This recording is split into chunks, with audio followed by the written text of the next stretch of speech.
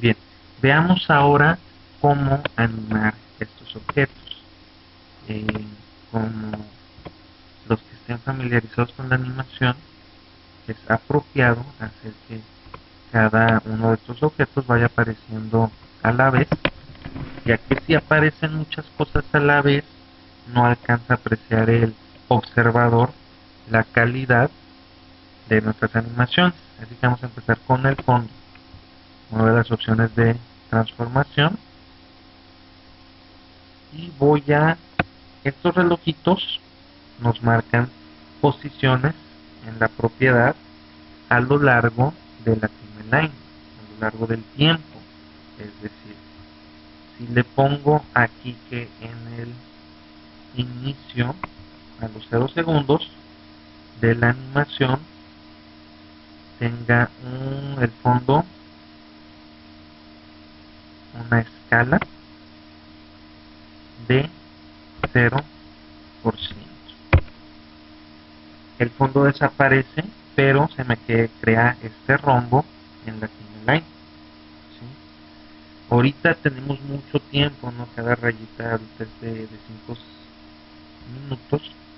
Vamos con esta, la vamos haciendo acercamientos al tiempo así que si nos vamos hasta el último vemos cada cuadro cada numeración es de cada cuadro y si la aumentamos completamente será minutos. Así que la queremos en segundos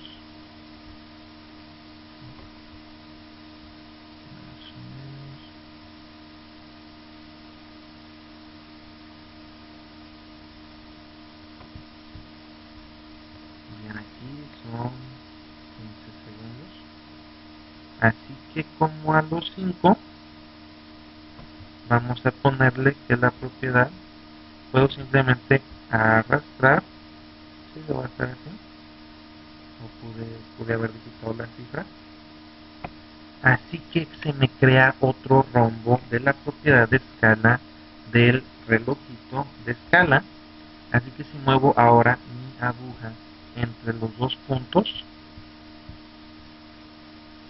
vamos a ver que la animación tiene efecto si le ponemos este espacio al teclado vamos a ir viendo la animación. Vemos que en la ventana de composición se va componiendo una línea verde. Esta línea verde quiere decir que está produciendo la animación eh, está produciendo los fotogramas que la constituyen ya que está constituida, y le ponemos espacio de nuevo, vemos que es un poco más rápido porque ya existe la línea verde. Ya produjo eh, la animación el, el, procesador. Así que, como ven, te toma mucho tiempo, toma 5 segundos. Quiero que dure unos 2 segundos. Porque también, si la animación es lenta, es aburrida a la vez que exhibe sus efectos de efectos, perdón. Simplemente puedo mover este rombo, acomodarlo aquí, a lo que calculo serían dos segundos. ¿sí? Así que ahora este movimiento, como ven, es más estético, es más rápido. Y una vez que acabamos de aparecer esta, podemos continuar apareciendo las otras imágenes. Así que esto es lo que les iba a comentar, que es importante de escalonar. La siguiente imagen a animar, digamos, va a ser esta. No es necesario que esté desde el inicio. Si de todos nos va a aparecer aquí. Así que podemos acomodarla de esta forma. Vamos a cerrar las propiedades de las otras imágenes que no estamos utilizando por ahora y esta imagen la vamos a meter con posición. Así que voy a utilizar el atajo del teclado que es la letra P. Y a esta altura de la aguja, aguja del tiempo voy a prender el reloj de la propiedad de posición. Aquí voy a animar de forma inversa del final al inicio.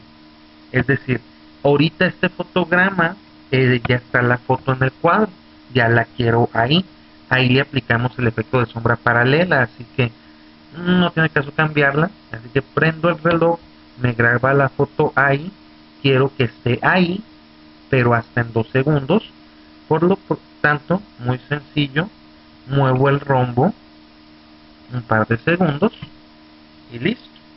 El reloj sigue prendido, pero como moví el rombo, ya no hay rombo aquí. Así que, como el reloj está grabando los cambios, puedo simplemente sujetar la imagen con el ratón y como ven, en cuanto la muevo, se creó un rombo. Y en la ventana de composición se creó una línea porque moví el segundo fotograma clave. Estos rombos se denominan fotogramas claves comunes a todos los programas de animación.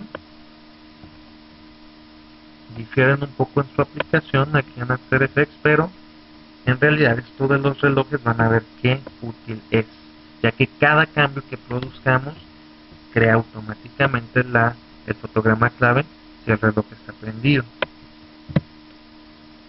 que hay en el fondo y luego aquí estamos animando junto con su sombra la imagen de vuelta. Esta como el fondo es algo más grande el de unos dos segundos estamos a darle más o menos un segundo. Bien digamos que esta imagen eh, que le aplicamos la máscara también tuviera, quisiéramos que tuviera la sombra paralela, la misma de esta imagen. Eh, sería de flojera tener que irnos a esta, aplicar de vuelta el filtro e ir acomodando cada una de las propiedades. Por lo tanto, eh, podemos hacer algo muy sencillo. Seleccionar la imagen que tiene aplicado ya el objeto, irnos al panel de control de efectos, vamos a hacer control C o nos podemos ir a editar copiar y seleccionar la imagen destino y simplemente control B chica pegar y como vemos ya la sombra paralela se aplica también a la otra imagen y así seleccionamos cada una nos muestra el panel de efectos que estas dos tienen el efecto sombra paralela y la de fondo no lo tiene. Para desactivar un efecto, para no cargar la memoria o simplemente para ver cómo se ve un efecto solo, eh, presionamos esta F en el panel de efectos.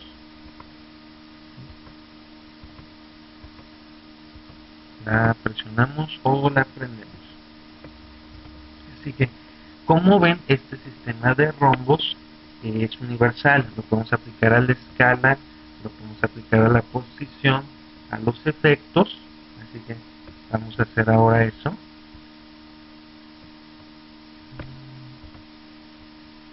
Ya que terminó de entrar esta imagen, vamos a hacer que su sombra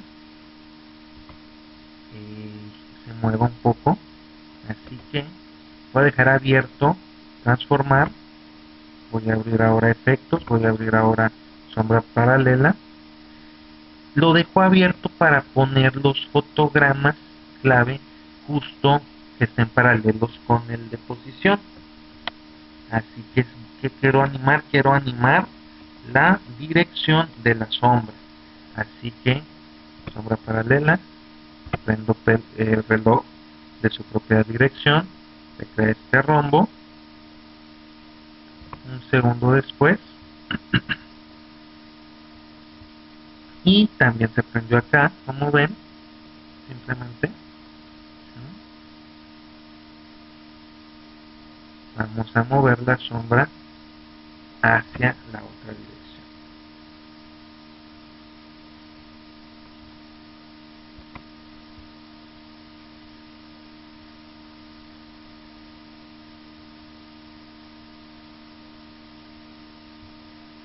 Así que ahora sí ponemos play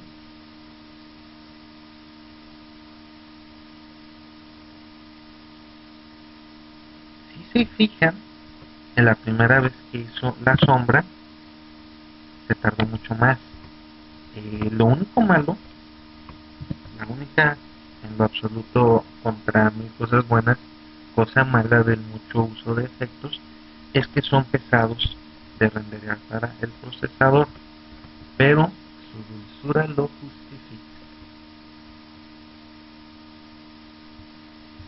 Así que ahora vamos a querer, ya terminamos de animar esta foto, vamos a cerrar sus propiedades, le vamos a poder poner el candado para no eh, modificarla por accidente, también al fondo, así que ahora sí, y estas imágenes están seguras por siempre. Algo muy importante, control S para salvar proyecto.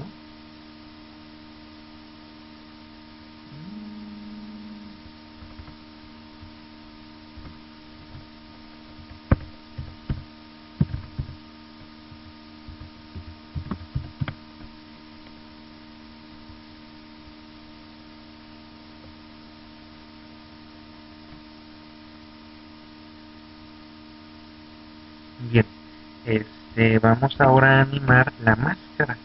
Vamos a expandir esta imagen, vamos a expandir su propio